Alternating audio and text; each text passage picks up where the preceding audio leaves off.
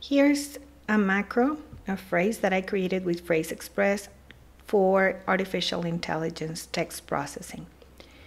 This example is for Trados Studio and it's for Spanish to change the formal form of address usted to the informal form of address tú.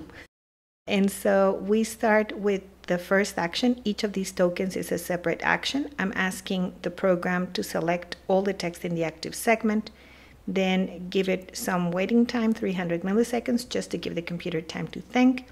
Then copy the selected text and then apply the AI prompt, which is, of course, changing to the tú form of address. I'm going to minimize that and show you how it works. The shortcut that I have designated for this, or the hotkey, is Control Alt I. So I will now press Control Alt I here and all the text is selected. And then, uh, of course, it's thinking and now it's replacing the text with the desired form. Now I'm going to do it again for this one.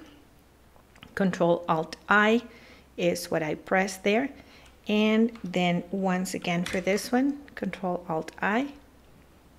And that is how you can create your own ai prompts combined with a macro in PhraseExpress to use them in whatever program you'd like